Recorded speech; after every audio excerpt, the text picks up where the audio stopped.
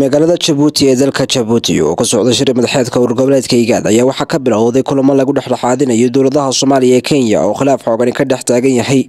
Madaxweynaha jabuuti ismaaciil cumar geele iyo ra'iisul wasaaraha etoobiya doctor abiy axmed ayaa garwadan ka ah labada dhinac iyadoo kulanka ay goojoog ka yihiin madaxweyne farmaajo iyo dhigiisa uhura kenyatta. Madaxweynaha jabuuti iyo ra'iisul wasaaraha dalka etoobiya waxay ku boorinayaan madaxweyne farmaajo iyo madaxweyne kenya iyo madaxweyne uhura kenyatta in khilaafkooda ay ku xaliyaan qaab wadahadala islamarkaana dhankooda ay ka qayb qaataan ra'iisul wasaaraha dalka etoobiya doctor abiy axmed cali oo soo dhigay qoraal bartiisa twitterka ayaa waxau kaga hadlay kulanka ay ku yeesheen madaxweynayaasha soomaaliya kenya iyo jabuuti kaasoo uu qeyb ka ahaa waxaanu yidhi awoodda xasiloonida gobolkeena waxay ku salaysan tahay iskaashi iyo horumarka.